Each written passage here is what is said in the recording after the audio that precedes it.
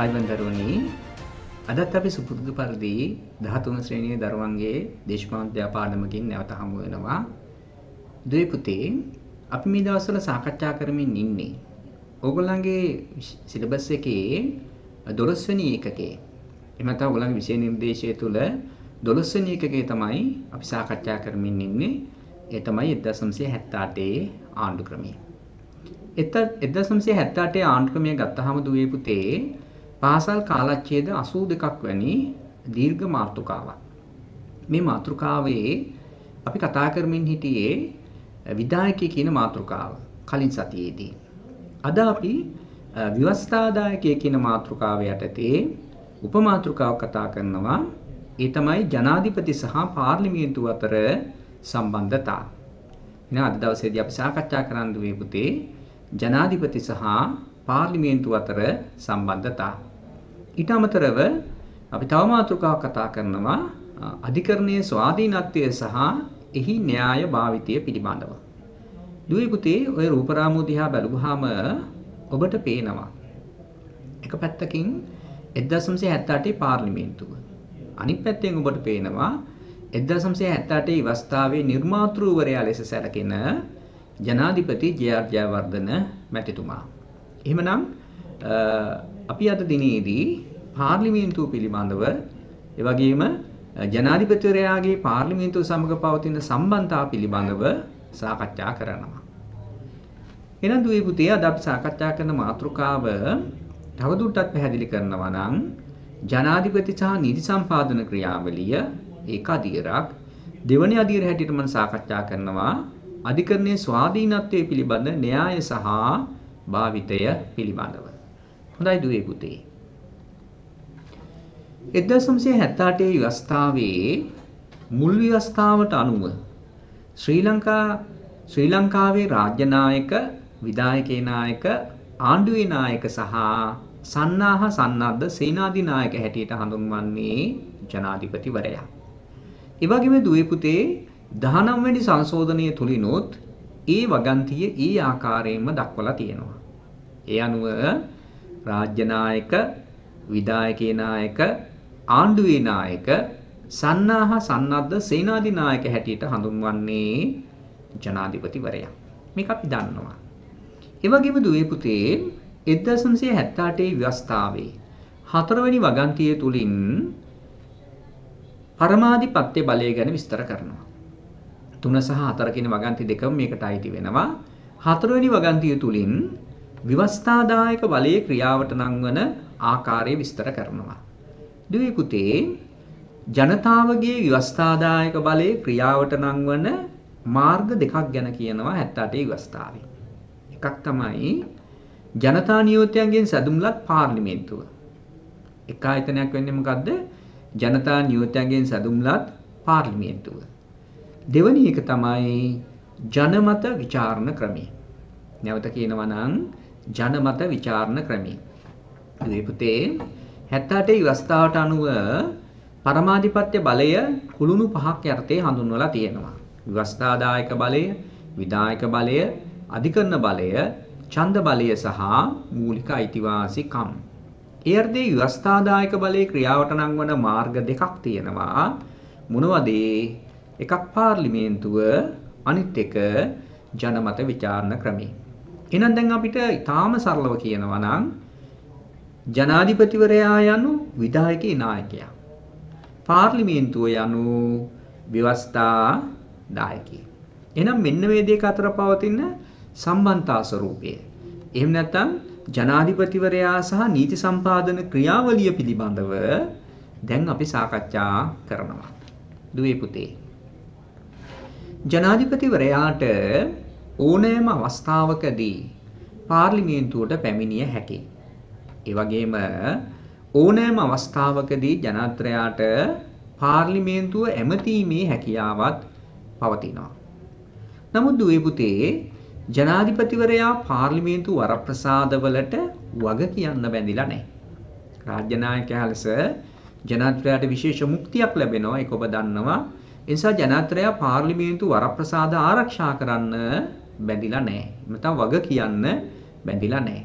එහෙනම් දැන් ඔබට පැහැදිලි ජනාධිපති සහ පාර්ලිමේන්තුව අතර සම්බන්ධතාවය ගැන කතා කරනකොට ජනත්‍රයට ඕනම අවස්ථාවක පාර්ලිමේන්තුවට පැමිණෙන්න පුළුවන්. පාර්ලිමේන්තුව අමතන්න පුළුවන්. නමුත් පාර්ලිමේන්තුව වරප්‍රසාද ආරක්ෂා කරන්න ජනත්‍රයා බැඳිලා නැහැ. ඒ වගේම දුවේ පුතේ අපිට තවදුරටත් කතා කරනවා නම් ජනාධිපතිවරයාට පාර්ලිමේන්තුව තුල හිමිවන වරප්‍රසාද මොනවද කියන කාරණේ. දුවේ පුතේ පාර්ලිමේන්තු මන්ත්‍රීවරයෙකුට පාර්ලිමේන්තුව තුල හිමිවන සියලු වරප්‍රසාද ජනාධිපතිවරයාට හිමි වෙනවා. මේක ආණ්ඩුක්‍රම අවස්ථාවේ පැහැදිලිව කියනවා. පාර්ලිමේන්තුව තුලදී පාර්ලිමේන්තු මන්ත්‍රීවරයෙකුට හිමිවන වරප්‍රසාද සහ බලතල ජනාධිපතිවරයාට හිමිවනවා පාර්ලිමේන්තුව තුල. නමුත් දුවේ පුතේ ඡන්දය දීමේ බලය හිමි වෙන්නේ නැහැ. ඒක විශේෂයි. දැන් මම පැහැදිලිව කිව්වා පාර්ලිමේන්තුව තුල පාර්ලිමේන්තු මන්ත්‍රීවරයෙකුට හිමිවන වරප්‍රසාද ජනාධිපතිට හිමිවනවා කියලා. නමුත් ජනාධිපතිවරයාට පාර්ලිමේන්තුව තුලදී ඡන්දය දීමේ බලයක් හිමි වෙන්නේ නැහැ. දැන් උදාහරණයකට අපි හිතමු පාර්ලිමේන්තු සැසිවාරයක් පැවැත්වෙනවා. මේ පාර්ලිමේන්තු සැසිවාරයේ ජනත්‍රය සහභාගී වෙලා තියෙනවා. අපි හිතමු දැන් පාර්ලිමේන්තුවේ ඡන්ද විමසීමක් පැවැත්වෙනවා. කිසියම් කරුණක් සම්බන්ධයෙන්. හැබැයි මේ කරුණේදී ජනාධිපතිවරයාට ඡන්දය ප්‍රකාශ කිරීමේ අයිතිය ලැබෙන්නේ නැහැ. ඒ කාරණේ තමයි මම කිව්වේ. ඒ වගේම දුවේ පුතේ පාර්ලිමේන්තුවේ මංගල සැසිවාරය පවත්වන අවස්ථාවලදී පාර්ලිමේන්තුවේ මුලසුන දැරීමේ බලය ලැබෙනවා ජනාධිපතිවරයාට. නැවත කියනවා නම් පාර්ලිමේන්තුවේ මංගල සැසිවාරයේදී මුලසුන දැරීමේ බලය ලැබෙනවා ජනාධිපතිවරයාට. මංගල සැසිවාරය කියන්නේ මොකක්ද? මහා මැතිවරණයෙන් පසුව පාර්ලිමේන්තුව රැස්වන ප්‍රථම සභාවාරය අපි හඳුන්වනවා මංගල සැසිවාරය කියලා. ඉතින් දුවේ පුතේ මේවා ජනාධිපතිවරයාට ලැබෙන පාර්ලිමේන්තු වරප්‍රසාද හැටියට අපිට හඳුන ගන්න පුළුවන්. ඒ වගේම දුවේ පුතේ අපි ගත්තොත් එහෙම ජනාධිපතිවරයාට පුළුවන් පාර්ලිමේන්තුවේ පූර්ණ බලය යටතේ පවතින මුදල් අමාත්‍ය ධූරය දරන්න. අනිවාර්ය කාරණයක් නෙවෙයි ජනාධිපතියට අවශ්‍ය නම් මුදල් අමාත්‍ය ධූරය ජනාධිපතියට දරන්න පුළුවන්. මොකද මූල්‍ය බලතල කියන්නේ දුවේ පුතේ පාර්ලිමේන්තුවට හිමි වෙන සුවිශේෂී බලයක්. දුවේ පුතේ අපි තවදුරටත් පැහැදිලි කරනවා නම් පාර්ලිමේන්තුවට ලැබෙන බලතල තියෙනවානේ. ඒ අතර ප්‍රධානම බලය තමයි නීති රීති පැනවීමේ බලය. මේක අපි හඳුන්වනවා ව්‍යවස්ථා සම්පාදන බලය කියලා. මේ ව්‍යවස්ථා සම්පාදන බලයට අමතරව මූල්‍ය බලතලත් පාර්ලිමේන්තුවේ ප්‍රධාන බලයක් බවට පත් වෙනවා. එහෙනම් පාර්ලිමේන්තුවේ පූර්ණ බලය යටතේ පවතින මුදල් කටයුතු බාර අමාත්‍ය ධූරය අවශ්‍ය නම් ජනාධිපතියට දරන්න පුළුවන්. ඒ වගේම දුවේ පුතේ තවත් කාරණයක් ගත්තොත් එහෙම අපි ගත්තොත් අමාත්‍ය මණ්ඩලයේ නායකයා හැටියට ජනාධිපතිවරයාට පුළුවන් මූල්‍ය පනත් පාර්ලිමේන්තුවට ඉදිරිපත් කරන්න. අමාත්‍ය මණ්ඩලයේ නායකයා හැටියට එහෙම නැත්නම් අමාත්‍ය මණ්ඩලයේ සභාපතිවරයා හැටියට මුදල් පනත් පාර්ලිමේන්තුවට ඉදිරිපත් කිරීමේ බලය ලැබෙනවා ජනාධිපතිවරයාට. නමුත් දුවේ පුතේ ඒවාට අනුමැතිය ලබා දීමට පාර්ලිමේන්තුව අනිවාර්යෙන් බැඳිලා නැහැ. මේක හොඳට මතක තියාගන්න ඕනේ. මොකද මූල්‍ය බලතල තියෙන පාර්ලිමේන්තුවට කට අමාත්‍ය මණ්ඩලයේ සභාපතිවරයා හැටියට ජනාධිපතිවරයාට පුළුවන් විවිධ මූල්‍ය පනත් පාර්ලිමේන්තුවට ඉදිරිපත් කරන්න හැබැයි මේ මූල්‍ය පළත් වලට අනිවාර්යයෙන්ම අනුමැතිය ලබා දෙන්න ජනාත්‍රයා බැඳිලා නැහැ. හොඳයි දුවේ පුතේ. දැන් අපි ඊළඟට කතා කරනවා ජනාත්‍රයාට හිමිවන තවත් බලයක් සම්බන්ධයෙන්. පාර්ලිමේන්තු හා සම්බන්ධ තවත් වැදගත් බලයක් සම්බන්ධයෙන් ඒ තමයි දුවේ පුතේ පාර්ලිමේන්තුවේ වාරාවසාන කිරීම සහ විසිරුවා හැරීමේ බලය. පාර්ලිමේන්තුව වාර අවසන් කිරීමේ සහ විසිරුවා හැරීමේ බලය පිළිබඳව අපි ඊළඟට සාකච්ඡා කරනවා. දුවේ පුතේ 1978 මුල් ව්‍යවස්ථාවට අනුව ජනාධිපතිවරයාට පාර්ලිමේන්තුවේ වාරවසාන කිරීමේ සහ විසුරුවා හැරීමේ බලය ලැබෙනවා. මේක විශේෂ අවස්ථාවක්. පාර්ලිමේන්තුවේ වාරවසාන කිරීමේ සහ විසුරුවා හැරීමේ බලය ලැබෙනවා. මේ తত্ত্বය 19 වෙනි සංශෝධනය තුලිනුත් ඒ ආකාරයටම පිළි අරගෙන තියෙනවා. ඔබ දන්නවා 2015 වර්ෂයේදී තමයි 19 වෙනි සංශෝධනය සම්මත වුනේ. ඒ සංශෝධනයට අනුවත් ඒ බලයේ වෙනසක් වෙලා නැහැ. පාර්ලිමේන්තුව කැඳවීම, වාර අවසන් කිරීම සහ විසිරුවා හැරීමේ බලය තියෙන්නේ ජනාධිපතිවරයාට. ඒ අනුව ජනාධිපතිවරයා පාර්ලිමේන්තුව වාර අවසන් කළත් එහෙම නැත්නම් පාර්ලිමේන්තුව විසිරුවා හැරීම කළත් ඒ සඳහා අනිවාර්යයෙන්ම ගැසට් නිවේදන නිකුත් කරන්න ඕනේ. එහෙමනම් දුවේ පුතේ මෙන්න මේ ගැසට් නිවේදනයක් තුල අන්තර්ගත විය යුතු කරුණු ගණනාවක් තියෙනවා. අන්නේ කරුණු පිළිබඳව අපි සාකච්ඡා කරන්න අවශ්‍ය වෙනවා. දැන් අපි මුලින්ම ගත්තොත් පාර්ලිමේන්තුව විසිරුවා හැරීමකදී ජනාධිපතිවරයා නිකුත් කරන ගැසට් නිවේදනයක් තුල මොනවද අඩංගු විය යුතු කරුණු? දුවේ පුතේ ප්‍රධාන කරුණු තුනක් ඒක ඇතුළත් වෙන්න ඕනේ. එකක් තමයි පාර්ලිමේන්තුව විසිරුවා හරින දිනය කවද්ද කියන කාරණේ. පාර්ලිමේන්තුව විසිරුවා හරින දිනය කවද්ද කියන කාරණේ. දෙවැනි එක තමයි නව මහා මැතිවරණය පවත්වන දිනේ. දෙවැනි කාරණේ වෙන්නේ මොකක්ද? නව මහා මැතිවරණය පවත්වන දිනේ. තුන්වෙනි එක තමයි මාස 3ක් නොඉක්මවන දිනකදී නැවත පාර්ලිමේන්තුව රැස්වන දිනේ. නැවත කියනවා නම් මාස 3ක් නොඉක්මවන දිනකදී නැවත පාර්ලිමේන්තුව රැස්වන දිනය සටහන් වෙන්න ඕනේ. කියන්නේ රැස්වෙන වේලාව තමයි විශේෂය. දැන් අපි දන්නවා විසුරෝණ දිනය අඩංගු වෙනවා. නව මහා මැතිවරණය පවත්වන දිනය අඩංගු වෙනවා. ඒ වගේම මාස 3ක් නොඉක්මවන දිනකදී පාර්ලිමේන්තුව රැස්වන වේලාව සඳහන් වෙලා තියෙන්න ඕනේ. එහෙනම් දුවේ පුතේ පාර්ලිමේන්තුව විසිරුවා හරිනු ලබන ගැසට් නිවේදනයක් තුල ඔන්න ඔය කරුණු ටික අන්තර්ගත වෙන්න ඕනේ. ඊළඟට අපි කතා කරනවා පාර්ලිමේන්තුව වාරාවසාන කිරීම පිළිබඳව. දැන් මම ඔබට පැහැදිලිව කිව්වා ජනාධිපතියට පාර්ලිමේන්තුවේ වාරාවසාන කිරීම කරන්නත් පුළුවන් පාර්ලිමේන්තුව විසිරුවා හැරීම කරන්නත් පුළුවන්. දැන් අපි පාර්ලිමේන්තුවේ වාරාවසාන කිරීම ගැන කතා කරොත් දුවේ පුතේ පාර්ලිමේන්තුව වාරාවසාන කරන දිනය සහ මාස දෙකක් නොඉක්මවන දිනකදී නැවත රැස්වෙන වේලාව සඳහන් වෙන්න ඕනේ. නැවත කියනවා නම් පාර්ලිමේන්තුවේ වාරාවසාන කරන දිනය සහ මාස දෙකක් නොඉක්මවන දිනකදී නැවත රැස්වෙන වේලාව සඳහන් වෙන්න ඕනේ. හොඳයි දුවේ පුතේ.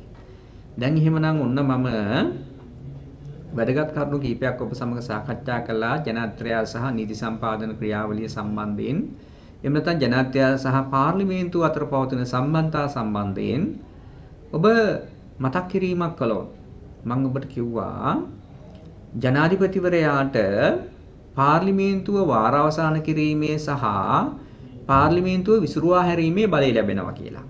නේද? එතෙන්දි මම කිව්වා ජනාධිපතිවරයා පාර්ලිමේන්තුවේ වාරාවසාන කිරීමක් සහ විසිරුවා හැරීමක් කරනකොට ගැසට් නිවේදන නිකුත් කළ යුතුයි කියලා. පාර්ලිමේන්තුව විසිරුවා හැරීමක් කරනවා නම් මොනවද අන්තර්ගත වෙන්න ඕන කරුණු? විසිරුවා හරින දිනය නව මහා මැතිවරණය පවත්වන දිනය සහ මාස 3ක් නොඉක්මවන දිනකදී නැවත රැස්වෙන වේලාව තියෙන්න ඕනේ. ඒ වගේම පාර්ලිමේන්තුව වාරාවසාන කරනවා නම් ඒ ගැසට් නිවේදනය තුල මොනවද අන්තර්ගත වෙන්න ඕනේ? වාරාවසාන කරන දිනය සහ මාස දෙකක් දින 60ක් නොඉක්මවන දිනකදී නැවත රැස්වෙන වේලාව සඳහන් වෙන්න ඕනේ. දුවේ පුතේ. ඔබ 1972 ආණ්ඩු ක්‍රමය ගැන ඉගෙනගෙන තියෙනවා. 1972 ආණ්ඩු ක්‍රමය තුල පාර්ලිමේන්තුව වාරාවසාන කිරීමේ සහ පාර්ලිමේන්තුව විසිරුවා හැරීමේ කාලය මීට වඩා වෙනස් වුණා. ඒ කියන්නේ දුවේ පුතේ ඒ විවස්ථාවට අනුව පාර්ලිමේන්තුව වාරවසාන කිරීම සහ පාර්ලිමේන්තුව විසිරුවා හැරීම සම්බන්ධයෙන් කාලය හැටියට දක්වලා තිබුණේ උපරිම මාස 4ක් කියන කාරණේ. එහෙනම් විසිරුවා හැරීමකදී නිල කාලය උපරිම මාස 4යි වාරවසාන කිරීමකදීත් උපරිම කාලය දාලා තිබුණේ මාස 4ක් ලෙස. හොඳයි.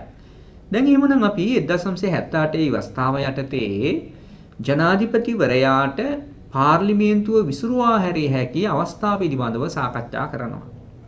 නැවත කියනවා නම් දුවේ පුතේ 1978 ව්‍යවස්ථාවට අනුව ජනාධිපතිවරයාට පාර්ලිමේන්තුව විසිරුවා හැරිය හැකි අවස්ථා පිළිබඳව දැන් අපි සාකච්ඡා කරනවා. මෙතනදී දුවේ පුතේ අපි තේරුම් ගන්න ඕන වැදගත් කාරණේ තමයි මුල් ව්‍යවස්ථාවට අනුව මුල් ව්‍යවස්ථාවට අනුව ජනාධිපතිවරයාට පාර්ලිමේන්තුවේ නිල කාලය වසරක් සම්පූර්ණ වුණාට පස්සේ ඕනම අවස්ථාවකදී විසිරවන්න පුළුවන්කම ලැබුණා. කොහොමද මුල් ව්‍යවස්ථාවේ සඳහන් වුණේ? පාර්ලිමේන්තුවේ නිල කාලය වසරක් සම්පූර්ණ වුණාට පස්සේ ඕනම අවස්ථාවකදී ජනාධිපතියාට පාර්ලිමේන්තුව විසිරුවා හරින්න පුළුවන්. මුල් ව්‍යවස්ථාව කියන්නේ මොකද්ද දුවේ පුතේ? මුල් ව්‍යවස්ථාව කියන්නේ ඕනම ආණ්ඩු ක්‍රමයක ආරම්භක අවස්ථාව. එහෙම නැත්නම් ආණ්ඩු ව්‍යවස්ථාව ක්‍රියාත්මක වූ මුල් අවස්ථාව මුල්ම දිනේ සිට අපි හඳුන්වනවා මුල් ව්‍යවස්ථාව කියලා. එහෙමනම් අපි දන්නවා මේ 78 ව්‍යවස්ථාව ක්‍රියාත්මක වීම ආරම්භ වුණේ 1978 අගෝස්තු 31 වෙනිදා. අන්නේ දවස් අපි හඳුන්වනවා මුල් ව්‍යවස්ථාව කියලා. එහෙනම් දුවේ පුතේ මුල් ව්‍යවස්ථාවේ පාර්ලිමේන්තුව විසිරුවා හැරීම සම්බන්ධයෙන් කොහොමද දක්වලා තිබුණේ? පාර්ලිමේන්තුවේ නිල කාලය වසරක් සම්පූර්ණ වුණාට පසුව ඕනෑම අවස්ථාවකදී ජනාධිපතිවරයාට පාර්ලිමේන්තුව විසිරුවා හැරිය හැකි කියන එක තමයි ඒකේ සඳහන් වුණේ. ඔබ දන්නවා දුවේ පුතේ 1978 ව්‍යවස්ථාවට 19 වෙනි ආණ්ඩුක්‍රම ව්‍යවස්ථා සංශෝධනය ඇතුළත් කළා 2015 වර්ෂයේදී. 2015 වර්ෂයේදී මේ තත්ත්වයේ වෙනසක් සිද්ධ වෙනවා. මුල් ව්‍යවස්ථාවේ පැවති තත්ත්වයට වඩා වෙනස් තත්ත්වයක් ඇති වෙනවා 19 වෙනි සංශෝධනයෙන් පස්සේ. මොකක්ද ඇති වෙච්ච වෙනස? ඒ තමයි දුවේ පුතේ. දැන් ජනාධිපතිවරයාට පාර්ලිමේන්තුවේ නිල කාලය වසරක් සම්පූර්ණ වුණාට පසුව ඕනෑම අවස්ථාවකදී විසිරුවා හැරිය හැකියි කියලා අපි හැඳින්වුවානේ මුල් අවස්ථාවට අනුව. 19 වෙනි සංශෝධනයෙන් යොදනවා බාධකයක් ඒ තමයි පාර්ලිමේන්තුවේ නිල කාලය වසර 4මාරක් ගතවන තෙක්. ජනාධිපතිවරයාට පාර්ලිමේන්තුව විසිරුවා හැරිය නොහැකියි කියන කාරණේ. නැවත කියනවා නම් 19 වෙනි සංශෝධනයෙන් පස්සේ නිල කාලය අවුරුදු 4යි මාස 6ක් ගතවන තුරු ජනාධිපතිවරයාට පාර්ලිමේන්තුව විසිරුවා හැරිය නොහැකි බව සඳහන් වෙනවා. ඒ මොන සංශෝධනයෙන්ද 2015 දී සම්මත වුණ 19 වෙනි ආණ්ඩුක්‍රම ව්‍යවස්ථා සංශෝධනය යටතේ. නමුත් දුවේ පුතේ 20 වෙනි සංශෝධනය සම්මත වුණා 2020 ඔක්තෝබර් මාසයේ 22 වෙනිදා. මේ 20 වෙනි සංශෝධනය තමයි අද ක්‍රියාත්මක වෙන්නේ. 20 වෙනි සංශෝධනය තුලින් 19 වෙනි සංශෝධනයෙන් ඇති කරපු තත්ත්වය වෙනස් වෙනවා. ඒ අනුව 20 වෙනි සංශෝධනයේ සඳහන් වෙන්නේ දුවේ පුතේ පාර්ලිමේන්තුවේ නිල කාලය වසර දෙකහමාරක් ගිය පසු ජනාධිපතිවරයාට ඕනම අවස්ථාවක විසිරුව හැරිය හැකිය කියන අදහස තියෙන්නේ. ඒ වගන්තිය කියන ආකාරයෙන්ම අපි ඒක කියනවා නම් කොහොමද කියන්නේ? පාර්ලිමේන්තුවේ නිල කාලය වසර දෙකහමාරක් ගතවන තෙක් ජනාධිපතිවරයාට පාර්ලිමේන්තුව විසිරුවා හැරිය නොහැකිය කියලා තමයි ඒ වගන්තියේ සඳහන් වෙන්නේ. එන අවුරුදු දෙකහමාරක් යනකම් විසිරුව හැරිය නොහැක කියන එකේ අනික අර්ථය ගත්තොත් එහෙම දෙකහමාරක් ඉක්මව ගිය පසු ඕනම අවස්ථාවක විසිරුවා හැරිය හැකි. ඔන්න එහෙනම් පාර්ලිමේන්තුව විසිරුවා හැරිය හැකි තවත් අවස්ථාවක්.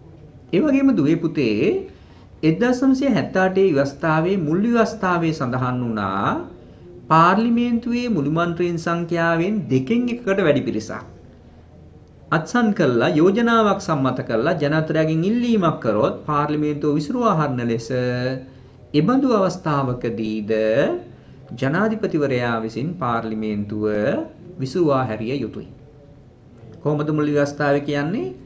පාර්ලිමේන්තුවේ දෙකෙන් එක බහුතරයක්. දෙකෙන් එකක් කියන්නේ කීයද? පාර්ලිමේන්තුවේ මුළු මන්ත්‍රීන් සංඛ්‍යාව 225යි.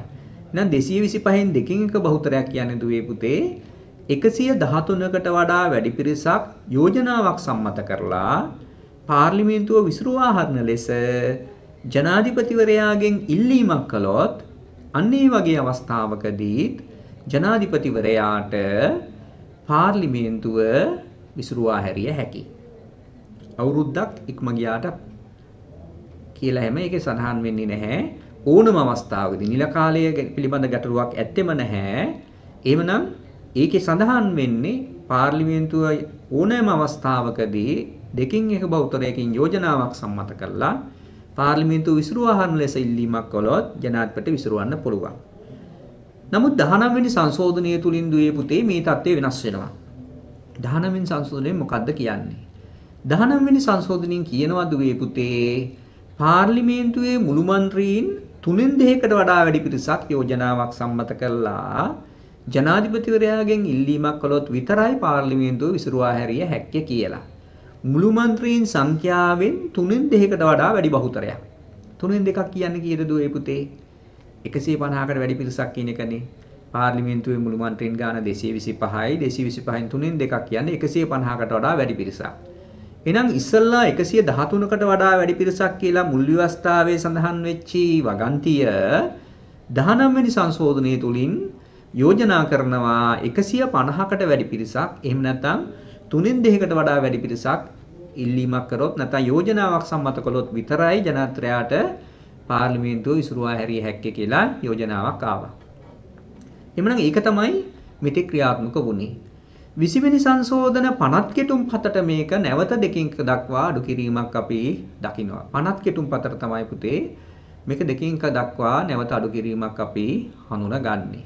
හොඳයි දුවේ පුතේ. එවනම් ඒ අපි කතා කළේ ජනාධිපතිවරයාට පාර්ලිමේන්තුව විසිරුවා හැරිය හැකි අවස්ථා පිළිබඳව. දුවේ පුතේ තවත් අවස්ථාවක් තියෙනවා. ජනාධිපතිවරයාට පාර්ලිමේන්තුව විසිරුවා හැරිය හැකි අවස්ථාවක්. ඒ තමයි මුදල් පනත් පාර්ලිමේන්තුව විසින් දෙවනි වර්තත් ප්‍රතික්ෂේප කරන අවස්ථාවකදී මුදල් පනත් ජනාධිපතිවරයා ඉදිරිපත් කරන එහෙම නැත්නම් ආණ්ඩුව ඉදිරිපත් කරන ඕනම මුදල් පනතක් දෙවනි වටත් පරාජයට පත් වුණොත් ජනාධිපතිවරයාට පුළුවන් පාර්ලිමේන්තුව විසිරුවා හරින්න. එහෙනම් ඔබ මෙතනදී තවත් වැදගත් කාරණයක් දැනගන්න ඕනේ. ඒ කියන්නේ දුවේ පුතේ පාර්ලිමේන්තුවට ඉදිරිපත් කළා තියෙන මුදල් පනතක් පළවෙනි වර පරාජයට පත් වුණාට ජනාධිපතිට විසිරවන්න බෑ. එහෙනම් විසිරුව හැරියක් කොහොමද? මුදල් පනතක් දෙවනි වරටත් පරාජයටපත් වුණොත් පමණයි. ඒ වගේම දුවේ පුතේ ජනාධිපතිවරයා සහ පාර්ලිමේන්තුව අතර පවතින තවත් සම්බන්ධතාවයක් හැටියට අපි හඳුන ගන්නවා ජනාධිපතිවරයාට එරෙහිව දෝෂාභියෝගයක් පාර්ලිමේන්තුවේ සම්මත කිරීම. නැවත කියනවා නම් ජනාධිපතිවරයාට එරෙහිව දෝෂාභියෝගයක් පාර්ලිමේන්තුවේ සම්මත කිරීම. ඔබ දන්නවා දෝෂාභියෝග ක්‍රියාවලිය පිළිබඳව. දුවේ පුතේ පස් වසරක නිල කාලයක් සඳහා තේරීපත් වන ජනාධිපතිවරයෙක් ධූරයෙන් ඉවත් කිරීම සඳහා යොදා ඇති එකම විධිවිධානය වන්නේ දෝෂාභියෝගයක් සම්මත කිරීම. නැවත කියනවා නම් පස් වසරක නිල කාලයක් සඳහා තේරීපත් වන ජනාධිපතිවරයෙක් ධූරයෙන් ඉවත් කළ හැක්කේ පාර්ලිමේන්තුවේ දෝෂාභියෝගයක් සම්මත කළා. එහෙනම් ජනාධිපතිවරයා ඉවත් කිරීම සඳහා පාර්ලිමේන්තුවට ලැබිලා තියෙන ඍජු බලය තමයි අපි හඳුනගන්නේ දෝෂාභියෝග සම්මත කිරීම කියලා. නමුත් දුවේ පුතේ ඔබ දන්නවා මේ දෝෂාභියෝග සම්මත කිරීමේ ක්‍රියාවලිය ගත්තාම ඒක අතිශය සංකීර්ණ ක්‍රියාවලියක්. ඒකේ තියෙනවා දීර්ඝ පියවර ගණනාවක් මේ පියවරයන් සම්මත කරන් තියෙන ඉඩකඩට වඩා ප්‍රතික්ෂේප වෙන්න තියෙන ඉඩකඩ වැඩි. ඒ නිසා සමහරු හඳුන්වනවා මේ දෝෂාභියෝග සම්මත කිරීමේ ක්‍රියාවලිය විවස්ථා සැරසිල්ලක් විතරයි කියලා. ආටෝපයක් විතරයි. ඒක සම්මත කරන්න බෑ. සම්මත කරන් තියෙන ඉඩකට හරි අඩුයි. ඒ නිසා ජනාධිපතියට එරෙහිව දෝෂාභියෝගයක් සම්මත කිරීමේ ක්‍රියාවලිය විවස්ථා සැරසිල්ලක් පමණයි කියලා සමහර ਵਿਚාරකයෝ හඳුන්වනවා. හොඳයි දුවේ පුතේ. දැන් අපි ඊළඟට තවත් වැදගත් මාතෘකාවක් කතා කරනවා. ඒ තමයි දුවේ පුතේ හදිසි නීතිය පැනවිය හැකි අවස්ථා. ජනත්‍රය සහ පාර්ලිමේන්තුව අතර පවතින සම්බන්ධතාවයක් ලෙස. එහෙම නැත්නම් ජනත්‍රය සහ නීති සම්පාදන ක්‍රියාවලිය අතර පවතින තවත් සම්බන්ධතාවයක් හැටියට අපි හඳුන ගන්නවා හදිසි නීතිය පැනවිය හැකි අවස්ථා. දුවේ පුතේ ජනාධිපතිවරයාට අවශ්‍ය නම් රටේ හදිසි තත්ත්වයක් මතුවලා තියෙනවා කියලා විශ්වාස කරනවා නම් ජනාධිපතිවරයාට පුළුවන් දුවේ පුතේ උපරිම වශයෙන් දින 14ක් දක්වා එමෙතන සති දෙකක් දක්වා හදිසි නීතිය පැනවිය හැකියි. නැවත කියනවා නම් දුවේ පුතේ ජනාධිපතිවරයාට උපරිම වශයෙන් දින 14ක් දක්වා හදිසි නීතිය පැනවිය හැකියි. නමුත් දුවේ පුතේ දින 14ක් තුලදී පාර්ලිමේන්තුව ඒක සම්මත නොකළොත් හදිසි නීතිය අවලංගු වෙලා යනවා. එහෙනම් ජනාධිපතිවරයා හදිසි නීතිය පනවලා දින 14ක් ගතවන විට පාර්ලිමේන්තුව විසින් ඒක තවදුරටත් දික් නොකළොත් එහෙම නැත්නම් තවදුරටත් අනුමැතිය නොදුන්නොත් මොකද වෙන්නේ? ඒ නියෝගය අවලංගු වෙලා යනවා. ඔබ තේරුම් ගන්න ඕන කාරණේ තමයි දුවේ පුතේ දින 14කට වඩා හදිසි නීතිය රට තුල තවදුරටත් ක්‍රියාත්මක කරන්න අවශ්‍ය නම් පාර්ලිමේන්තුව ඒ සඳහා අනුමැතිය ලබා දිය යුතුයි. එහෙනම් පාර්ලිමේන්තුවට කොපමණ කාලයක් හදිසි නීතිය දික් කළ හැකිද? දුවේ පුතේ උපරිම වශයෙන් මාසයක් දක්වා පමණයි. එහෙනම් ජනාධිපතියා විසින් පනවන හදිසි නීතිය තවදුරටත් දික් කිරීමට අවශ්‍ය නම් පාර්ලිමේන්තුව විසින් මාසයකට වරක් ඒක දික් කිරීම අවශ්‍ය වෙනවා. මාසයකට වරක් ඒ දික් කිරීම සඳහා අනුමැතිය ලබා දීම අවශ්‍ය වෙනවා. එතකොට දුවේ පුතේ අපි මෙතෙක් කතා කරපු කරුණු වලින් ඔබට පැහැදිලි වෙනවා ජනාධිපතිවරයා රාජ්‍ය නායකයා විධායකේ නායකයා ආණ්ඩුවේ නායකයා ඒ වගේම සන්නාහ සන්නද්ධ සේනාධි නායකයා හැටියට ගත්තාම ජනාධිපතිවරයාට පාර්ලිමේන්තුවට බලපෑම් කිරීමේ හැකියාව ලැබෙනවා. එහෙනම් ජනාධිපතිවරයාට පාර්ලිමේන්තුවට ඍජුවම සහ වක්‍රාකාරයෙන් බලපෑම් කළ හැකි තවත් එක් අවස්ථාවක් අපි හඳුනා ගන්නවා. මොකද දුවේ පුතේ මේ අවස්ථාව? ඒ අවස්ථාව තමයි දුවේ පුතේ ඔබ දන්නවා ජනාධිපතිවරයා කියන්නේ කවුද? බොහෝ විට ආණ්ඩු බලයේ හිමි දේශපාලන පක්ෂයේ නායකයා. නැවත කියනවා නම් ජනාධිපතිවරයා කියන්නේ බොහෝ වෙලාවට ආණ්ඩු බලයේ හිමි දේශපාලන පක්ෂයේ නායකයා. එහෙනම් දේශපාලන පක්ෂ නායකයා හැටියට ජනාධිපතිවරයාට පාර්ලිමේන්තුවේ කටයුතු වලට බලපෑම් කිරීමේ හැකියාව ලැබෙනවා. පැහැදිලි නේද දුවේ පුතේ මං කියන කාරණේ. මේ පක්ෂ නායකයානේ. ඒකට ආණ්ඩු බලය ලැබිලා තියෙන්නේ ජනාධිපතියා නියෝජනය කරන පක්ෂයට. බොහෝ විට එහෙම තමයි අපේ රටේ සිද්ධ වෙන්නේ. ඒතකොට පක්ෂ නායකයා හැටියටත් ජනාධිපතියාට පුළුවන් පාර්ලිමේන්තුවේ කටයුතු වලට බලපෑම් කරන්න. හොඳයි දුවේ පුතේ. දැන් අපි අපේ දෙවනි අදියරට එනවා සාකච්ඡාවේ අපි මෙතෙක් සාකච්ඡා කරේ දුවේ පුතේ ලංකාවේ රාජ්‍ය නායකයා වන ජනාධිපතිවරයා සහ විවස්ථාදායකයේ වන පාර්ලිමේන්තුව අතර සම්බන්ධතා ගැන කතා කරේ. එහෙම නැත්නම් ජනාධිපතිවරයා සහ නීති සම්පාදන ක්‍රියාවලිය පිළිබඳව තමයි අපි සාකච්ඡා කරේ. එහෙනම් අපේ මාතෘකාවේ දෙවනි පියවරට දැන් අපි එනවා. ඒ තමයි අධිකරණයේ ස්වාධීනත්වයේ පිළිබඳ න්‍යාය සහ භාවිතය. නැවත කියනවා නම් අධිකරණයේ ස්වාධීනත්වයේ පිළිබඳ න්‍යාය සහ භාවිතය පිළිබඳව දැන් අපි සාකච්ඡා කරනවා. දුවේ පුතේ 1978 ව්‍යවස්ථාවේ අධිකරණ ස්වාධීනත්වයේ පිළිබඳව තමයි අපි වැඩිදුරටත් සාකච්ඡා කරන්න හදන්නේ. මෙතනදී අපි ඒ ගැන කතා කරන්න ප්‍රථම මොකද්ද අධිකරණයේ ස්වාධීනත්වය කියන්නේ? අපි දන්නවනේ ඕනම රටක ප්‍රජාතන්ත්‍රවාදී රටක් ගත්තොත් දුවේ පුතේ ස්වාධීන අධිකරණයක් ක්‍රියාත්මක වෙනවා. එහෙනම් ස්වාධීන අධිකරණයක් කියන එකෙන් අදහස් කරන්නේ බාහිර බලපෑම් වලට ලක් නොවන යුක්තිය සාධාරණත්වයේ නිසියාකාරයෙන් ඉටුවන නීතිය ආධිපත්‍ය මුල් කරගෙන ක්‍රියාත්මක වන අධිකරණයක් අපි හඳුන ගන්නවා ස්වාධීන අධිකරණයක් කියලා. එහෙම නැත්නම් අධිකරණයේ ස්වාධීනත්වය කියලා අපි හඳුන ගන්නවා.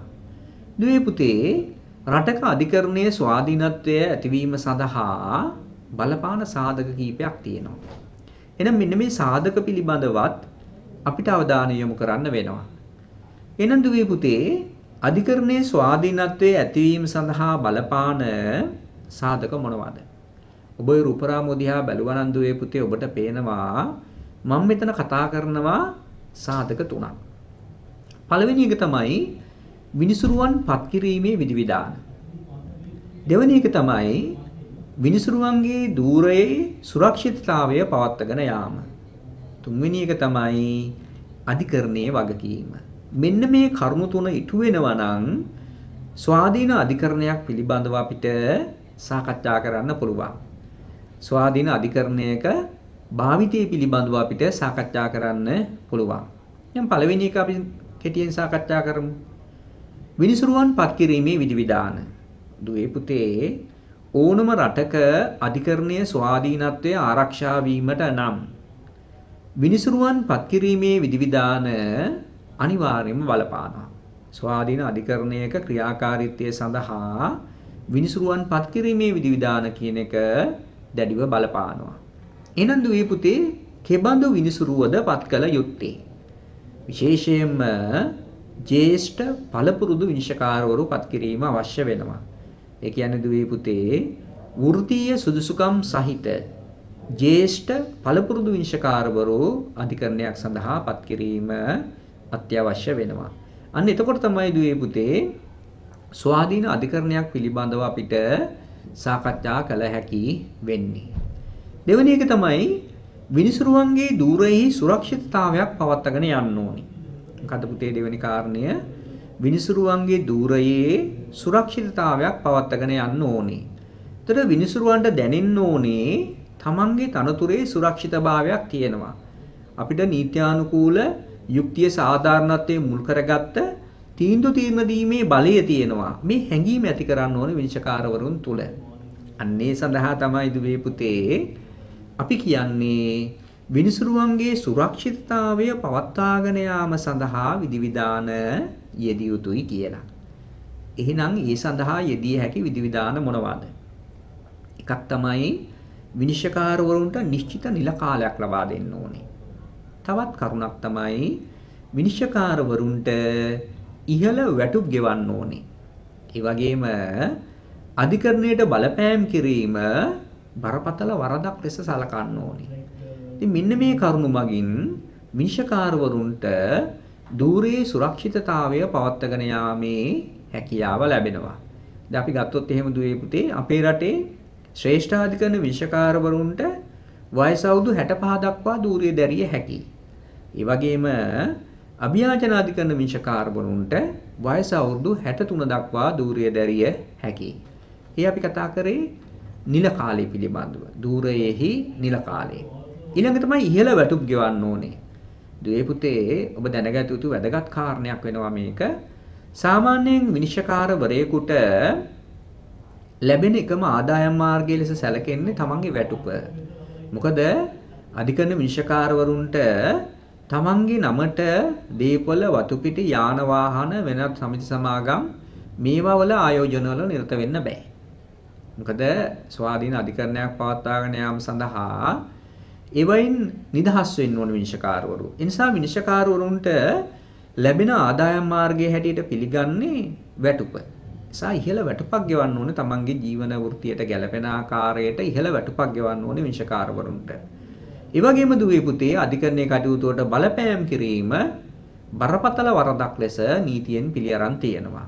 එම බලපෑම් කරන අයට දඬුවම් ලැබෙන ආකාරයේ ක්‍රමවේදයක් දකින්න ලැබෙනවා. ඉතින් ඒ හරහා මොකද වෙන්නේ? විනිශ්චයකාරවරුන්ගේ দূරයෙහි සුරක්ෂිතභාවයක් ඇති වෙනවා. ඒ වගේම දුවේ පුතේ තුන්වෙනි කාරණේ ඊටාම් වැදගත්. අධිකරණයේ වගකීම. එහෙනම් අධිකරණයේ වගකීම කියලා මෙතන අපි හඳුනගන්නේ විනිශ්චයකාරවරුන්ගේ වගකීම. විනිශ්චයකාරවරු තේරුම් ගන්න ඕනේ යුක්තිය සාධාරණත්වය 100%ක් ඉටු කරන්න. නීතිය ආධිපත්‍ය මුල් කරගෙන අධිකරණයේ කටයුතු සිද්ධ වෙන්න ඕනේ. අන්න එතකොට අධිකරණයේ වගකීම ඉටු වෙනවා ඒ මගිනුත් අධිකරණයේ ස්වාධීනත්වය ආරක්ෂා කරගන්න පුළුවන්. හොඳයි දුවේ පුතේ. එමනම් අපි මේ කතා කරේ අධිකරණයේ ස්වාධීනත්වය පිළිබඳව බලපාන සාධක පිළිබඳව. හොඳයි දුවේ පුතේ. ඊළඟට අපි කතා කරනවා අධිකරණයේ ස්වාධීනත්වය සඳහා සම්බන්ධ වන පාර්ශවයන් පිළිබඳව. ඕනම රටක අධිකරණයේ ස්වාධීනත්වය සඳහා සම්බන්ධ වන පාර්ශව කීපයක් ඉන්නවා. කවුද මේ පාර්ශව? ආණ්ඩුව සහ දේශපාලඥයෝ. උන අධිකරණයේ ස්වාධීනත්වය සම්බන්ධයෙන් වැදගත් වන පාර්ශවයක් තමයි ආණ්ඩුව සහ දේශපාලඥයෝ. අනිත් පැත්තෙන් ගත්තොත් පුතේ දෙවනි කාරණේ හැටියට අධිකරණය සහ විනිශ්චයකාරවරු මෙයාගේ ක්‍රියාකලාපය. ඒ වගේම මහ ජනතාව සහ පුරවැසියෝ. මෙන්න මේ අයගේ ක්‍රියාකාරකම් දුවේ පුතේ අධිකරණයේ ස්වාධීනත්වයේ සඳහා පැහැදිලිවම බලපානවා. දැන් අපි ගත්තොත් ආණ්ඩුව සහ දේශපාලඥයෝ ගත්තාම දුවේ පුතේ ආණ්ඩුව ගත්තාම අපි දන්නවා ව්‍යවස්ථාදායකයේ විධායකයේ අධිකරණය කියලා ආයතන තුනක් තියෙනවානේ. එහෙනම් මෙතනදී විධායකයේ සහ ව්‍යවස්ථාදායකයේ අධිකරණයේ කටයුතු වලට බලපෑම් කිරීමෙන් වළකින්න ඕනේ. ඒ වගේම දේශපාලඥයෝ විධායකයේ සහ ව්‍යවස්ථාදායකයේ නියෝජනය කරන දේශපාලඥයෝ අධිකරණයේ කටයුතු වලට බලපෑම් කිරීමෙන් වළකින්න ඕනේ. අනිතර ස්වාධීනත්වයක් ඇති වෙනවා. ඒ වගේම අධිකරණය සහ විනිශ්චයකාරවරු ගැනත් කියන්න ඕනේ. විශේෂයෙන්ම දුවේ පුතේ විනිශ්චයකාරවරු දේශපාලන අතකොළු වෙන්න උත්සාහ කළොත් එහෙම නැත්නම් ආණ්ඩුවට පක්ෂග්‍රාහී වන ආකාරයට හැසිරෙන්න උත්සාහ කළොත් අන්න අධිකරණයේ ස්වාධීනත්වය හානි වෙනවා. ඒ වගේම තමයි දුවේ පුතේ මහජනතාව සහ පුරවැසියන්ගේ ක්‍රියාකාරකමුත් අධිකරණයේ ස්වාධීනත්වය පහළ යාමට එමත අධිකරණයේ ස්වාධීනත්වයේ බිඳ වැටීමට හේතු විය හැකියි. එහෙනම් දුවේ පුතේ මේ අපි සාකච්ඡා කරේ අධිකරණයේ ස්වාධීනත්වයට සම්බන්ධ වන පාර්ශව පිළිබඳව. දැන් අපි ඊළඟට ඍජුවම 1978 ආණ්ඩුක්‍රම ව්‍යවස්ථාවට සම්බන්ධ වෙනවා 1978 ව්‍යවස්ථාවේ අධිකරණයේ ස්වාධීනත්වය පිළිබඳව දැන් අපි සාකච්ඡා කරනවා. දුවේ පුතේ ඔබ දන්නවා මේ 1978 ආණ්ඩුක්‍රම ව්‍යවස්ථාව ක්‍රියාත්මක වීම ආරම්භ වුණේ කවද්ද? 1978 අගෝස්තු 31 වෙනිදා. එහෙනම් 1978 අගෝස්තු 31 වෙනිදා ඉඳලා වර්තමානය දක්වා ලංකා අධිකරණයේ ස්වාධීනත්වය ගැන කතා කරොත් එහෙම අපි දකින පොදු කාරණේ තමයි මේ අධිකරණයේ ස්වාධීනත්වයට ඇතැම් අවස්ථාවලදී බලපෑම් මෙල්ල වෙලා තියෙනවා. විශේෂයෙන්ම අපේ රටේ පාලකයන්ගේ ඇතැම් ක්‍රියාකාරකම් අධිකරණයේ ස්වාධීනත්වයේ බිඳ වැටෙන්න හේතු වෙලා තියෙනවා. මෙන්න මේවා පිළිබඳව අපි සාකච්ඡා කරන්න ඕනේ. විශේෂයෙන්ම 1978 ආණ්ඩුක්‍රම ව්‍යවස්ථාව සම්මත වීමත් සමගම සිදුවෙච්ච විශේෂ කරුණක් තමයි මෙතෙක් ශ්‍රේෂ්ඨාධිකරණයේ සිටි විනිශ්චයකාරවරු සහ අභියාචනාධිකරණයේ සිටි විනිශ්චයකාරවරුන්ගේ ධූරය පුරප්පාඩු වෙනවා. 163 වෙනි වගන්තියෙන් 1978 ව්‍යවස්ථාවේ 163 වෙනි වගන්තිය මගින් පැහැදිලිව කියනවා මෙතෙක් ධූරය දරුව. ඒ කියන්නේ 1972 සිට 77 දක්වා ධූරය දරපු විනිශ්චයකාරවරුන්ගේ ධූරය පුරප්පාඩු වෙනවා කියලා. නමුත් දුවේ පුතේ අධිකරණයේ සම්ප්‍රදායන් පිළිබඳව අවධානය යොමු කරනකොට එහෙම දෙයක් වෙන්න බෑ. ඒ කියන්නේ අලුතෙන් ආණ්ඩුක්‍රම ව්‍යවස්ථාවක් පැන වුණා. අලුතෙන් ආණ්ඩුක්‍රම ව්‍යවස්ථාවක් ක්‍රියාත්මක වීම ආරම්භ වුණා. එතෙක් ධූරය දරන විනිශ්චයකාරවරු තවදුරටත් අඛණ්ඩව සේවය දෙන්න ඕනේ. සමහර විට අලුත් ව්‍යවස්ථාව යටතේ ඒ අය නැවත දිවුරුම් දෙන්න පුළුවන් නව ව්‍යවස්ථාව ගරු කරමින් තීන්දුව తీරන ලබා දෙනවා යුක්තිය සාධාරණත්වය ඉටු කරනවා කියලා ඒගොල්ලෝ දිවුරුම් දිය හැකියි. නමුත් ධූරේ පුරපාඩු වෙන්න බෑ. එහෙමනම් අපි දන්නවා 78 ව්‍යවස්ථාව යටතේ ආණ්ඩුව පිහිටෙව්වේ ජේ.ආර් ජයවර්ධන ජනාධිපතිවරයා විසින් එනම් මේ ව්‍යවස්ථාව ආරම්භ වීමත් සමග එතෙක් দূරයේ දරපු ශ්‍රේෂ්ඨාධිකරණයේ අග්‍රවිනිශ්චකාරවරයා සහ අනුකුත් විනිශ්චකාරවරු ඒ වගේම අභියාචන අධිකරණයේ සභාපති විනිශ්චකාරවරයා සහ අනිකුත් විනිශ්චකාරවරු দূරෙන් පුරප්පාඩු වුණාසේ එමෙතන පහ වුණාසේ සැලකුවා මේ ව්‍යවස්ථාවට අනුව. ඒක බරපතල චෝදනාවක් ඇට්ට එල්ල වෙනවා. ඒ වගේම නව ව්‍යවස්ථාව යටතේ විනිශ්චකාරවරු පත් කිරීම තුලදීද අධිකරණයේ ස්වාධීනත්වයේ උල්ලංඝනය වුණා කියලා බරපතල චෝදනාවක් තියෙනවා. 78 ව්‍යවස්ථාව ආරම්භ වීමත් සමග හිටපු විනිශ්චකාරවරුන්ගේ ධූරේ පුරප්පාඩු වීම කියන එකත් චෝදනාවක් හැටියට සැලකෙනවා. ඒ වගේම නව ව්‍යවස්ථාව යටතේ ඉහළ උසාවිවලට විනිශ්චකාරවරු පත් කිරීමේදීද අධිකරණයේ ස්වාධීනත්වයේ උල්ලංඝනය වුණා කියලා චෝදනාවක් තියෙනවා. ප්‍රධාන වශයෙන්ම දුවේ පුතේ ජේෂ්ඨත්වයේ නොසලකා විනිශ්චකාරවරු පත් කරලා තියෙනවා. මම දැන් ඔබට කිව්වනේ ඕනම රටක අධිකරණයේ ස්වාධීනත්වයේ ඇති වෙන්න නම් විනිශ්චයකාරවරු පත් කරනකොට ජේෂ්ඨ පළපුරුදු වෘත්තීය සුසුකම් සහිත විනිශ්චයකාරවරු පත් කරන්න ඕනේ. එහෙමනම් දුවේ පුතේ 1978 ආණ්ඩුක්‍රම ව්‍යවස්ථාව ආරම්භ වීමත් සමග ජේෂ්ඨ විනිශ්චයකාරවරු පත් කළේ නැහැ කියන චෝදනාව තියෙනවා. එහෙම නැත්නම් විනිසුරුවන්ගේ ජේෂ්ඨත්වයේ පිළිබඳව නොසලකුණා කියන චෝදනාව තියෙනවා. හොඳයි. ඒ වගේම දුවේ පුතේ 78 ව්‍යවස්ථාව යටතේ විනිශ්චයකාරවරු පත් කරනකොට සාරධර්ම සම්ප්‍රදාය සැලකිල්ලට ගන්නේ නැහැ. අධිකරණ ක්‍රියාවලියක් තුල විනිසුරුවන් පත් කිරීමේ සාරධර්ම සම්ප්‍රදායන් කියලා දේවල් තියෙනවා. ඒව සැලකිල්ලට ගන්නේ නැහැ. ඒකත් බරපතල චෝදනාවක්.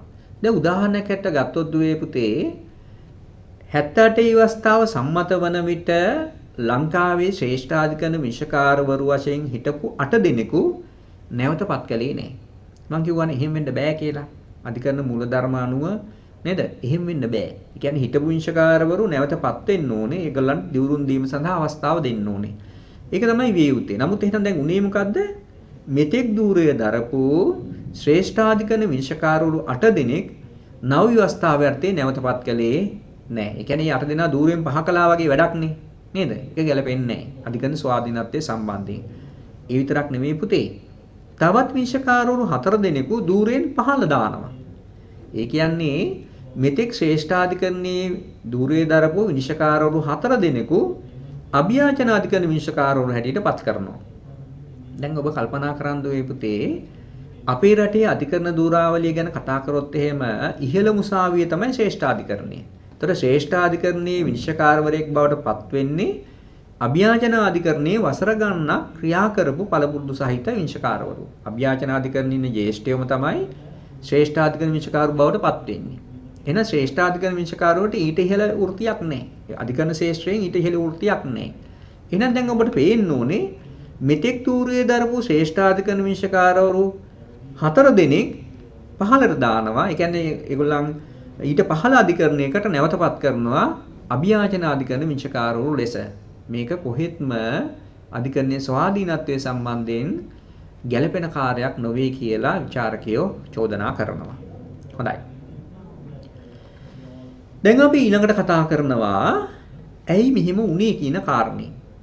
දුවේ පුතේ 1978 ව්‍යවස්ථාවට අනුව ජනාධිපතිවරයාට අධිකරණයට විනිසුරුවපත් කිරීම සඳහා අභිමත බලයක් ලැබෙනවා. අභිමත බලයක් කියන එකේ තේරුම තමයි තමන්ගේ කැමැත්ත මත විනිශ්චයකාරවරු පත් කිරීමේ බලයක් ලැබුණා. මෙන්න මේ අභිමත බලය තමයි 78 ව්‍යවස්ථාව යටතේ අධිකරණයේ ස්වාධීනත්වය පහළ යාම සඳහා බලපානු ලැබුවේ කියලා හඳුන්වන්න පුළුවන්. දැන් ඔබට මම කිව්ව දේ පැහැදිලිද දුවේ පුතේ? මම දැන් මෙතෙක් කතා කරපු කරුණු වලින් ඔබ තේරුම් ගත්ත කාරණේ තමයි 1978 ව්‍යවස්ථාව ආරම්භ වීමත් සමග අධිකරණයේ ස්වාධීනත්වයට දැඩි ලෙස පහර වැදි වුණා කියන එකනේ. අධිකරණයේ ස්වාධීනත්වයට දැඩි ලෙස බලපෑම් එල්ල වුණා කියන කාරණේනේ අපි කියන්නේ. එහෙනම් ඒ විදිහට අධිකරණයේ ස්වාධීනත්වයේ පහළ යාම සඳහා බලපානු ලැබූ ප්‍රධානම සාධකයක් ලෙස අපි හඳුනගන්නේ මොකක්ද? ජනාධිපතිවරයාට ලැබුණ අභිමත බලය මිනිසුරුවන් පත් කිරීම සම්බන්ධයෙන්. ඉහළ උසාවිවල මිනිසකාරවරු පත් කිරීම සඳහා ජනාධිපතිවරයාට ලැබුණු අභිමත බලය අධිකරණයේ ස්වාධීනත්වයේ පහළ යාම සඳහා බලපෑවා.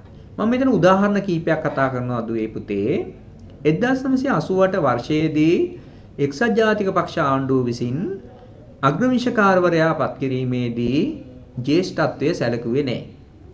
ඒ කියන්නේ දුවේ පුතේ 1988 වර්ෂයේ වෙනකොට ශ්‍රේෂ්ඨාධිකරණයේ හිටපු ජේෂ්ඨම විශකාරවරයා තමයි එස් වනසුන්දර මැතිතුමා. එස් වනසුන්දර මැතිතුමා. එන වනසුන්දර මහත්මයා තමයි ඊළඟ අග්‍රවිශකාරවරයා විය යුත්තේ. නමුත් මොකද උනේ වනසුන්දර මහත්මයා පත් කිරීම වෙනුවට පාරින්ද රණසිංහ මහත්මයා පත් කළා. එහෙනම් ශ්‍රේෂ්ඨාධිකරණයේ හිටපු ජේෂ්ඨත්වයෙන් අඩු විනිශ්චයකාරවරයෙක් වෙච්චි පාරින්ද රණසිංහ මහත්තයා අග්‍ර විනිශ්චයකාරවරයා බවට පත් වුණා. ඒ 1988 වර්ෂයේදීනේ. ඊළඟට 1999 වර්ෂයේදීත් චන්ද්‍රිකා කුමාරතුංග මහත්මියගේ ආණ්ඩුව කාලේ වැරද්දක් වුණා. ඒ තමයි ශ්‍රේෂ්ඨාධිකරණයේ අග්‍රවිශකාරවරයා පත්කිරීමේදී මාක් ප්‍රනාන්දු මහත්මයා වෙනුවට සරත්නන්ද සිල්වා මහත්මයා පත් කරා. එහෙමනම් ඒ වෙනකොට ශ්‍රේෂ්ඨාධිකරණයේ හිටපු ජ්‍යෙෂ්ඨතම විංශකාරවරයා වුණේ මාක් ප්‍රනාන්දු මහත්මයා. එහෙනම් මාක් ප්‍රනාන්දු මහත්මයා තමයි ඊළඟ අග්‍රවිංශකාරවරයා විය යුත්තේ. නමුත් චන්ද්‍රිකා කුමාතුංග ආණ්ඩුව මොකද කරේ? සරත්ෙන් සිල්වා මහත්මයා අග්‍රවිංශකාරවරයා ලෙස පත් කළා. එහෙනම් ඔන්න ඔබට පැහැදිලි තමයි උදාහරණ දෙකක් කිව්වා. ජ්‍යෙෂ්ඨත්වයේ නොසලකා අග්‍රවිංශකාරවරු පත් කිරීම පිළිබඳව. ඊට අමතරව දුවේ පුතේ ඔබ දන්නවා පහුගිය කාලෙදී ඔය 2015ට පෙර ඊ ආසන්නයේදී ඔබ දන්නවා හිටපු අග්‍රවිංශකාර ශිරාණි බණ්ඩාරනායක මහත්මිය ඉවත් කරලා මුහාන් පීරිස් මහත්මයා අග්‍රවිංශකාර ධූරයට පත් කිරීම. එතකොට මේ ක්‍රියාවලියේදී ඉවත් කළ කාරණිය පිළිබඳව චෝදනා එල්ල වෙනවා. හැබැයි දුවේ පුතේ මේ අවස්ථාවේදී ශිරාණි බණ්ඩාරනායක අග්‍රවිංශකාරවරිය ධූරයෙන් ඉවත් කළේ නිශ්චිත ක්‍රමවේදයට අනුව. ක්‍රමවේදය කියන්නේ පාර්ලිමේන්තුවේ විශ්වාසභංග යෝජනාවක් සම්මත කිරීමෙන් පසුව තමයි ඇය ඉවත් කරන්නේ. නමුත් ඇය ඉවත් කිරීමේ චෝදනාව සම්බන්ධයෙන් විවේචන එල්ල වෙලා තියෙනවා. ඒ වගේම තමයි දුවේ පුතේ 2015 වර්ෂයේදී ජනාධිපතිරයා බවට පත් වුණු මෛත්‍රීපාල සේන සිරිසේන මහත්මයා 2015 දී ජනාධිපතිතුරයට පත් වුණු මෛත්‍රීපාල සිරිසේන මහත්මයා එක පෑන් නිරකින් හිටපු අග්‍රවිංශකාරවරයා දූරෙන් ඉවත් කරනවා. ඒ තමයි මුහාන් පීරිස් මහත්මයා. ඒතර ඇත්තටම දැන් මුහාන් පීරිස් මහත්මයාගේ කිසියම් චෝදනාවක් තියෙනවා නම් ඔහු දූරෙන් ඉවත් කළ යුතු ක්‍රමවේදයක් තියෙනවානේ. මොකක්ද ක්‍රමවේදය? පාර්ලිමේන්තුවේ බහුතර ඡන්දයෙන් විශ්වාසභංග යෝජනාවක් සම්මත කළා තමයි ඉවත් කළ යුත්තේ. නමුත් මෛත්‍රීපාල සිරිසේන ජනාධිපතියා මොකද කරන්නේ? එක පෑන් නිරකින් අග්‍රවිංශකාරවරයාගේ ධූරය අහෝසි කළා දානවා. එතකොට දුවේ පුතේ මේ කතා කරපු කරුණු වලින් ඔබ තේරුම් ගන්න ඕන කාරණේ මොකද්ද? එහෙමනම් 1978 ව්‍යවස්ථාව ආරම්භ වීමත් සමග අධිකරණයේ ස්වාධීනත්වය සඳහා දැඩි බලපෑම් එල්ල වෙලා තියෙනවා. මේක අපි වරින් වර මම මේ කතා කරපු උදාහරණ ඔස්සේ ඔබ තේරුම් ගත්තා. එහෙමනම් අපි පැහැදිලිව තේරුම් ගන්න ඕනේ ජනාධිපතිවරයාට විනිශ්චයකාරවරු පත් කිරීම සඳහා ලැබුණු අභිමත බලය මේ සඳහා හේතු වුණා කියලා. හොඳයි දුවේ පුතේ. දැන් අපි ඊළඟට කතා කරනවා අධිකරණයේ ස්වාධීනත්වයේ ඉහළ යාම සඳහා බලපානු ලැබූ කරුණක් පිළිබඳව. ඒ තමයි 17 වෙනි ආණ්ඩුක්‍රම ව්‍යවස්ථා සංශෝධනය. එහෙනම් 17 වෙනි ආණ්ඩුක්‍රම ව්‍යවස්ථා සංශෝධනය 2001 වර්ෂයේදී තමයි සම්මත වුණේ. විශේෂයෙන්ම මේ කාලේ වෙනකොට අපේ රටේ බුද්ධිමතුන් අතර චෝදනාවක් තිබුණා. අපේ රටේ ප්‍රධාන ආයතන තුනක් අධිකරණය පොලිසිය සහ සිවිල් සේවය දූෂිත ආයතන ලෙස. ජාත්‍යන්තර සමාජය තුලත් මේ මතය තිබුණා දුවේ පුතේ අධිකරණය පොලිසිය සහ සිවිල් සේවය දූෂිත ආයතන කියලා. මේ චෝදනාව එල්ල වුණේ ඇයි මේ චෝදනාව එල්ල වුණේ දුවේ පුතේ අධිකරණයට විනිශ්චයකාරවරු පත් කිරීම ඒ වගේම තවත් අන්තුරු ගණනාවක් තිබුණා මේ කියපු ආයතනවල මෙන්න මේ තනතුරු වලට සමාජිකවපත් කිරීමේදී ජනාධිපතිවරයාට අභිමත බලයක් ලැබුණා.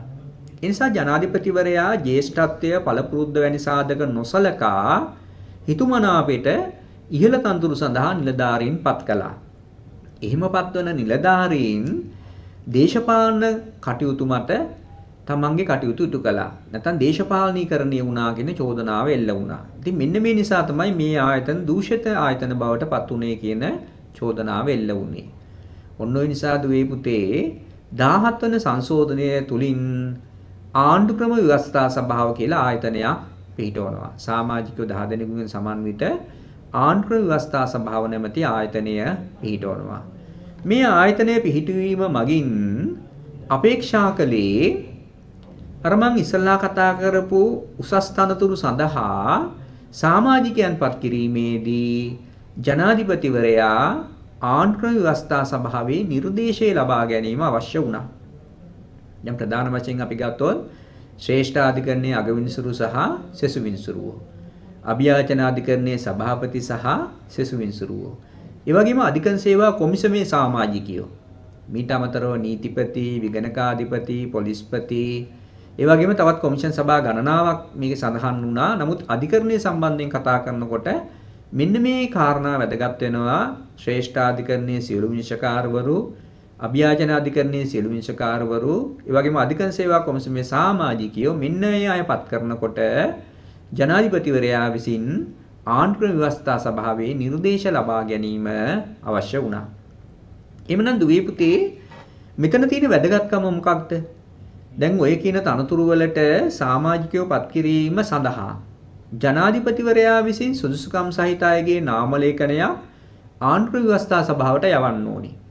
එතකොට ආණ්ඩුක්‍රම ව්‍යවස්ථා සභාව ඒ සමාජිකයෝ සුදුසු හෝ නුසුදුසු බව දන්නනවා. සුදුසුයි කිව්වොත් ජනාධිපති ඒ සමාජිකයෝ ඒ තනතුරු වලට පත් කරන්න ඕනේ. ආණ්ඩුක්‍රම ව්‍යවස්ථා සභාව එම සමාජිකයෝ නුසුදුසුයි කියලා දැනුම් දීමක් කළොත් ජනාධිපතිට ඒ අය පත් කරන්න බෑ. එහෙමනම් මේ ආණ්ඩුක්‍රම ව්‍යවස්ථා සභාව කියන ආයතනය පිහිටුවීම මගින් අපිට පැහැදිලි වෙනවා ජනාධිපතිවරයාට ඉහළ තනතුරු වලට සමාජිකයන් පත් කිරීම සඳහා පැවති අභිමත බලය සීමා වීමක් සිද්ධ වෙලා තියෙනවා. මෙන්න මේ తත්වය අධිකරණයේ ස්වාධීනත්වයේ ඉහළ යාම සඳහා බලපාලා තියෙනවා. හොඳයි දුවේ පුතේ. දැන් අපි ඊළඟට කතා කරනවා 18 වෙනි ආණ්ඩුක්‍රම ව්‍යවස්ථා සංශෝධනය ගැන. ඔබ දන්නවා 2010 වර්ෂයේදී මහින්ද රාජපක්ෂ මහත්මයාගේ ආණ්ඩුවෙන් තමයි 18 වෙනි ආණ්ඩුක්‍රම ව්‍යවස්ථා සංශෝධනය ගෙනාවේ. මේ 18 වෙනි ආණ්ඩුක්‍රම ව්‍යවස්ථා සංශෝධනය ගෙනාවේ කුමටද? අපි ඒක හොයලා බලන්න ඕනේ. දුවේ පුතේ ඔබ දන්නවා දැන් 17 වෙනි ආණ්ඩුක්‍රම ව්‍යවස්ථා සංශෝධනය මගින් ජනාධිපතියාගේ අභිමත බලය සංවරණය වුණා. එහෙනම් 18 වෙනි ආණ්ඩුක්‍රම ව්‍යවස්ථා සංශෝධනය ගෙනාවේ ජනාධිපතිවරයාගේ සංවරණීය වූ බලතල නැවත හිමි කර ගැනීම. එහෙම නැත්නම් ජනාධිපතියාගේ සීමා වූ බලතල නැවත හිමි කර ගැනීම තමයි 18 වෙනි ආණ්ඩුක්‍රම ව්‍යවස්ථා සංශෝධනය ගෙන එන්න හේතුව වුණේ. දුවේ පුතේ මේ 18 වෙනි සංශෝධනය මගින් නැවත වරක් ජනාධිපතිවරයාට අධිකර ඉහළ උසාවිවල විනිශ්චයකාරවරු පත් කිරීමත් ඒ වගේම වෙනත් කොමිෂන් සභා සහ තවත් අනුතුරු ගණනාවකට සමාජිකයන් පත් කිරීමේ අභිමත බලය නැවත ලබා ගන්නවා. හැබැයි දුවේ පුතේ 18 වෙනි සංශෝධනය තුලිනුත් පාර්ලිමේන්තු සභාව කියලා ආයතනයක් ඇති කරනවා. අර 17 වෙනි සංශෝධනයේ තිබුණු ආණ්ඩුක්‍රම ව්‍යවස්ථා සභාව කියන එක අහෝසි කළා පාර්ලිමේන්තු සභාව කියලා නැවත ආයතනයක් පිහිටවනවා. මේ පාර්ලිමේන්තු සභාවේ හිටිය සමාජිකයෝ පස් දෙනයි කතානායක අගමැති විපක්ෂ නායක සහ අගමැති සහ විපක්ෂ නායක නියෝජනය කරන නියුතෝ දෙන්නේ. පාර්ලිමේන්තු මන්ත්‍රීවරු පස් දෙනෙක් හිටියේ.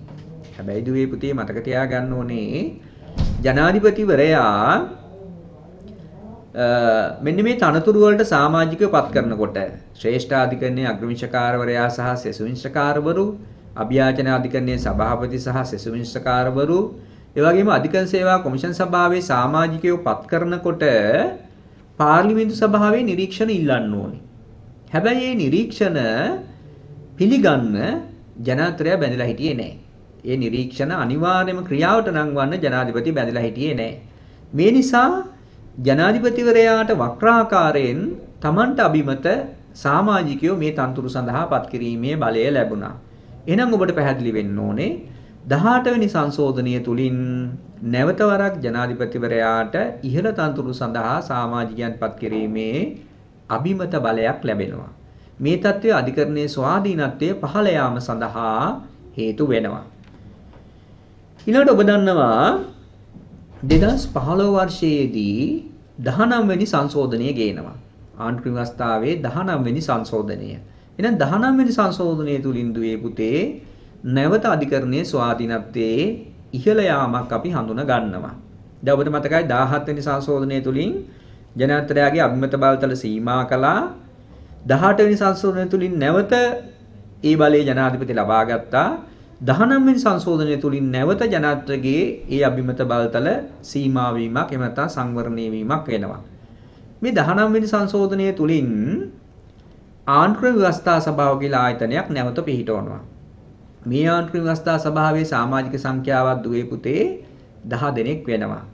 එමනම් මේ ආණ්ඩුක්‍රම ව්‍යවස්ථා සභාව යටතේ ජනාධිපතිවරයා මේ තනතුරු සඳහා සමාජිකයන් පත් කිරීමේදී ආණ්ඩුක්‍රම ව්‍යවස්ථා සභාවේ නිර්දේශ ලබා ගැනීම අනිවාර්ය වෙනවා. ශ්‍රේෂ්ඨ අධිකරණයේ අගවිනිසුරු සහ සෙසුවිනිසුරුවෝ අභ්‍යාචන අධිකරණයේ සභාපති සහ සෙසුවිනිසුරුවෝ ඒ වගේම අධිකරණ සේවා කොමිෂන් සභාවේ සමාජිකයෝ දුවේ පුතේ මීට අමතරව නීතිපති විගණකාධිපති පොලිස්පති මානව හිමිකම් කොමිසම ඊළඟ පොලිස් කොමිසම මේ වගේ තව කොමිෂන් සභා ගණනාවක් තියෙනවා. මම ඒවා ගැන සාකච්ඡා නොකරන්නේ. අපේ අපේ තේමා වෙලා තියෙන්නේ අධිකරණීය ස්වාධීනත්වය කියන මාතෘකාව නිසා පමණ නිසා මම මේ ශ්‍රේෂ්ඨ අධිකරණ විනිශ්චයකාරවරු අභ්‍යාචන අධිකරණ විනිශ්චයකාරවරු සහ අධිකරණ සේවා කොමිසම කියන ආයතන විතරයි අදාළ කරගත්තේ.